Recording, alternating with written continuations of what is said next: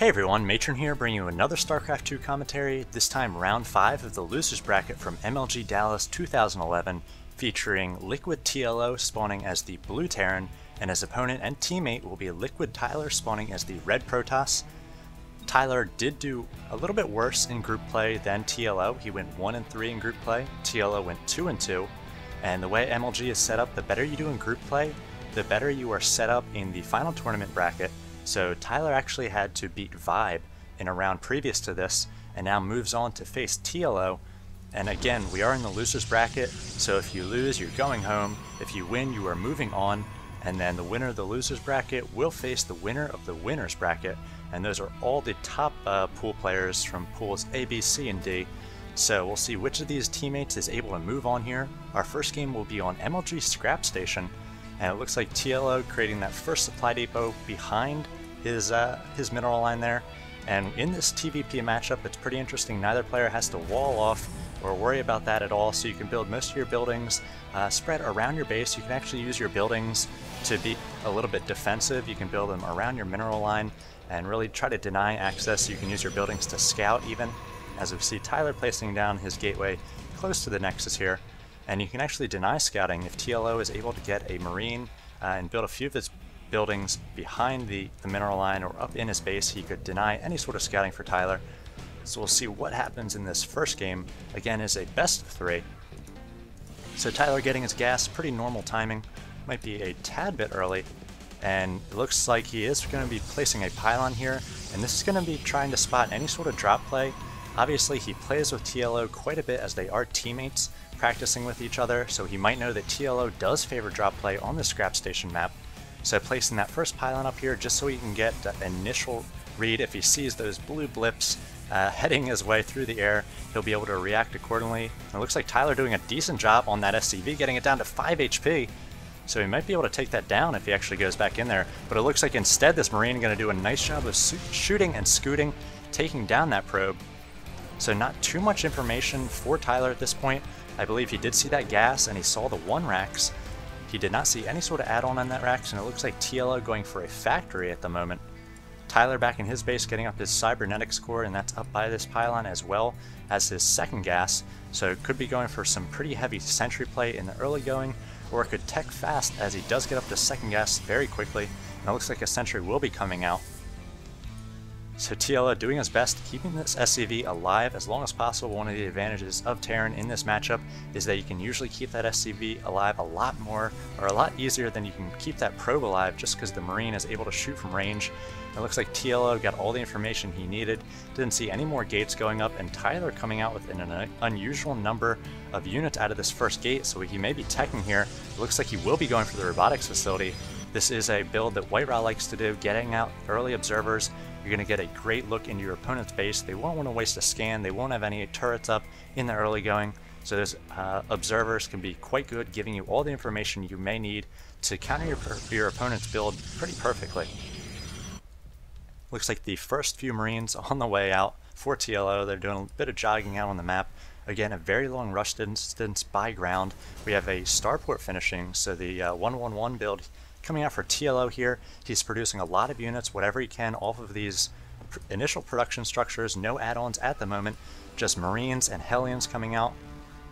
So he may try to do a bit of Hellion harassment. It looks like a medevac on the way, so we will be seeing some sort of drop play. And it's a good thing Tyler has all of his buildings positioned here correctly. He does have the observer on the way. It's about 20 seconds out, and he's got a few gateways finishing, but again, these gateways are pretty late. He's stopped producing units out of this one gateway here, Checking on his warp gate tech, it looks like it is, has been completed. So he will have these warp gates up and running shortly. The medevac about to pop out, and it looks like the medevac will be taking seven Marines and an SCV. So I wonder what it'll be doing with this SCV. The observer not going to be seeing this medevac as it takes a wide route there. So Tyler not seeing that. The Hellions on their way from the southern portion, and Tyler's a nice spread here at the at the ramp He's going to be able to do some nice force fields and get those Zealots into position to fight as soon as possible. But TLO coming in from behind, Tyler does see it, moving his units back behind here, and he's got a lot of Marines to deal with. The Marines are going to try to take down this one pylon that will psycap Tyler, and it looks like a bunker going down. Tyler doing a nice job placing down these force fields, preventing those Hellions from coming in and taking down the workers, but it looks like focusing down all the units of Tyler TLO has a huge force, and now probes having to be pulled off for Tyler here.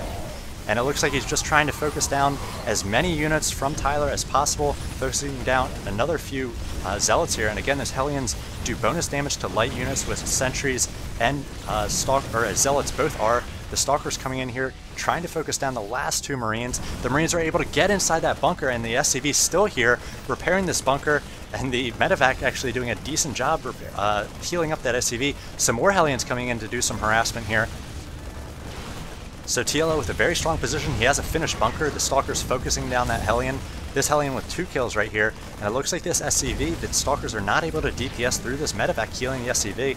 The two Marines in here are just going to town on all of these workers. We check the workers lost, That is 16 workers killed for TLO so far. And it looks like uh, TLO finally losing that SCV after even picking it up in that medevac to try to prevent the focus fire.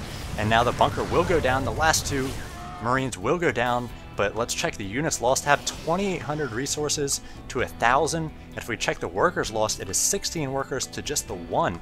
So checking out income it is 26 to 19 worker wise and it looks like Tyler's gonna have to push out for some sort of all-in attack here.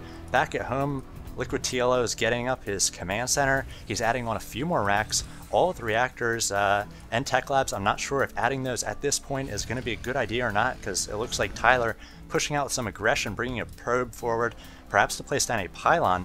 But at this point, uh, it is 36 to 46, and Tyler's way behind in terms of economy. We have another drop coming in here with Hellions, so if they're able to take down a few more probes, Tyler could be in trouble. So it looks like Tyler trying to run away here with all these probes. And it looks like the probes will be taken down. Oh my god. So all those probes taken down. About, wow, 15 kills on the one Hellion, one on another. So 16 probes taken down there in short order. Back in TLO's base, it looks like he's having to pull off a number of SCVs to try to tank a little bit of damage for the few Marines that he does have. The Stalkers, uh, pretty beefy units compared to those Marines, but taking five shots to take down a Marine as the Stalker's doing bonus damage against the, the armored units, and Marines are pretty light there. And now the Marines moving forward, a Viking actually landing, helping here, doing 12 DPS on its own.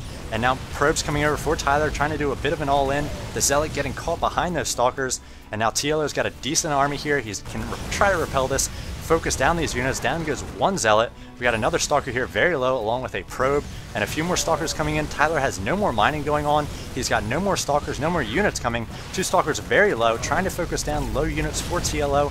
TLO doing his best to shoot and scoot and take down these remaining two Stalkers for Tyler. Just one Stalker left. I'm not sure Tyler's going to be able to come back with just that. He did kill Idra with a probe in StarCraft 1, but I'm not sure that this Stalker is going to be able to do that sort of damage to TLO. And now uh, Tyler left without anything, having to give the GG, and a very exciting game there from TLO. A nice play with that bunker. He brought over the seven Marines and the SCV. At the same time, he had a few Hellions coming in and they were able to make it up that ramp because he pulled the units away from that ramp with that drop. And then getting that bunker to finish i can't believe tyler did not focus down that scv and then eventually once it did finish tlo doing a nice job with that medevac repairing the scv and just not enough firepower for tyler to take it down.